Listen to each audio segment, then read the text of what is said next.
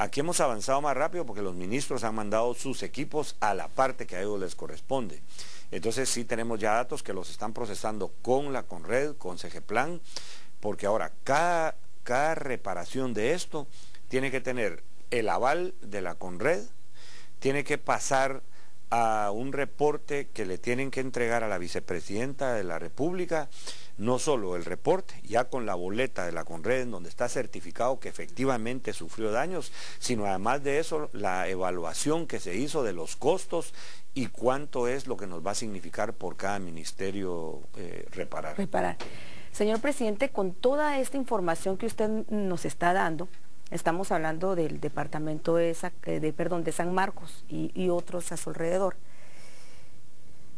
¿Está Guatemala preparada para un sismo grande viendo pues la magnitud que fue en ciertos departamentos y en este caso de San Marcos? Bueno, la verdad, Elsie, aquí diciendo la realidad de las cosas, porque yo creo que nos haríamos daño nosotros mismos con engañarnos, no estamos preparados. Esto quiere decir desde la Conred, eh, ahora que nos ha eh, tocado estar cerca de la Conred, encontramos, por ejemplo, que la Conred tiene un, eh, un delegado departamental. Pero, por ejemplo, en San Marcos, que es ahora el ejemplo pues, donde, más daños hubo, en San Marcos, con 29 municipios, un delegado de la Conred en un departamento tan grande, porque está el altiplano, la zona central, toda la parte de la costa, es imposible que ese delegado, si no entra un equipo a ayudarlo en la emergencia, pueda salir adelante. Nosotros ahora lo que hemos visto es, porque Guatemala es un país que está en alto riesgo, ahora fue el terremoto, pero han habido tormentas, huracanes, eh, eh, una serie de fenómenos naturales con el cambio climático que nos ponen a nosotros como uno de los países de más riesgo a nivel mundial. Lo que tenemos que hacer es y es todo viene a caer con presupuesto, pero algo que sí es un paso importante que tenemos que dar es deberíamos de tener un delegado de la Conred en cada municipio.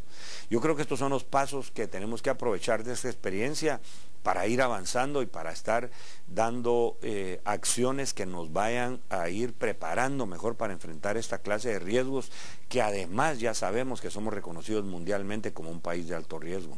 Y yo le preguntaba esto porque también usted, unas declaraciones que dio, habló de formar un comité de reconstrucción.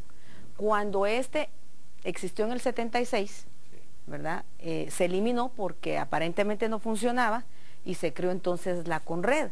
¿Cuál sería el objetivo entonces de este comité?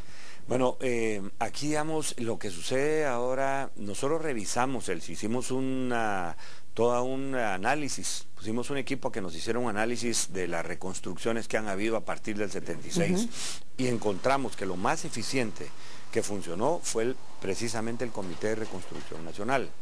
Ahora, esto eh, se divide de las funciones que tiene la CONRED, porque la CONRED es la reducción de, desastres. Específicamente la función de la CONRED tiene que focalizarse en prevención, en alertas, en tener gente en el campo, en poder eh, trasladar eh, eh, la educación que tenemos que tener para todo este tipo de desastres. Esas son principalmente las funciones de la CONRED y por supuesto dar rápido respuesta en el momento que se presente un fenómeno para empezar a alimentar con los datos y por otro lado para llevar la asistencia humanitaria. Ahora, el comité de reconstrucción creo que yo es, yo aquí nosotros identificamos es otra fase ya diferente.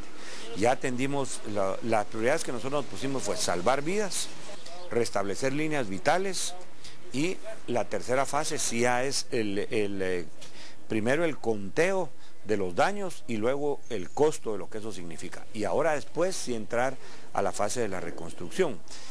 Eso ya no es directamente responsabilidad de la Conred. La Conred va a llegar hasta el momento en que le diga, por ejemplo, al Ministerio de Gobernación, efectivamente la cárcel de San Marcos está destruida, aquí está la boleta que le certifica que con el terremoto fue que se destruyó y con eso le sirve al ministro para presentarse ya con el comité de reconstrucción y decirle esto es lo que nosotros queremos hacer, estos son los costos, el comité lo, lo tendrá que revisar, analizar, porque la otra parte que entra aquí él sí, y es, ha sido una experiencia triste para los guatemaltecos, es el tema del manejo de los recursos, en donde ha habido falta de transparencia, han habido reconstrucciones. Imagínense que todavía estamos hablando de gente que todavía está reclamando de la reconstrucción del Están, del Ágata, que nos dejaron una deuda de 12 mil millones de quetzales en el Ministerio de Comunicaciones y cuando uno va a ver la infraestructura está tirada y, el estado de calamidad o el estado de excepción del Ágata se extendió casi por un año.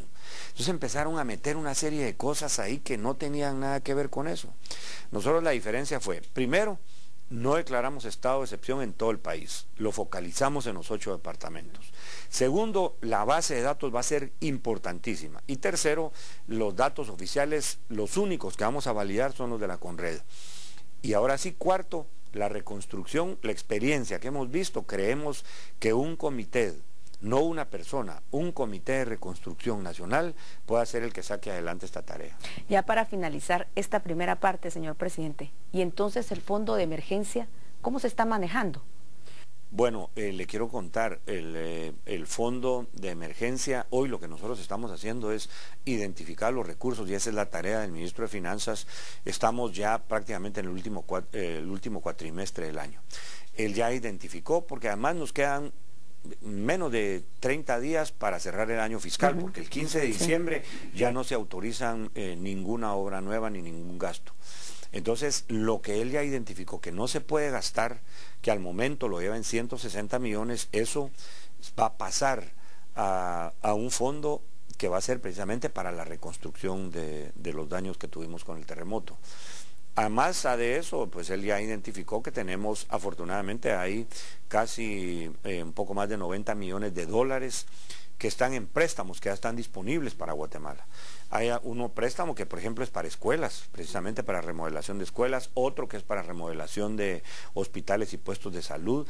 Esos se van a redireccionar y se van a aplicar en lo que se necesita. Si son escuelas, si son puestos de salud, el Ministerio de Gobernación tiene recursos para poder eh, levantar las comisarías.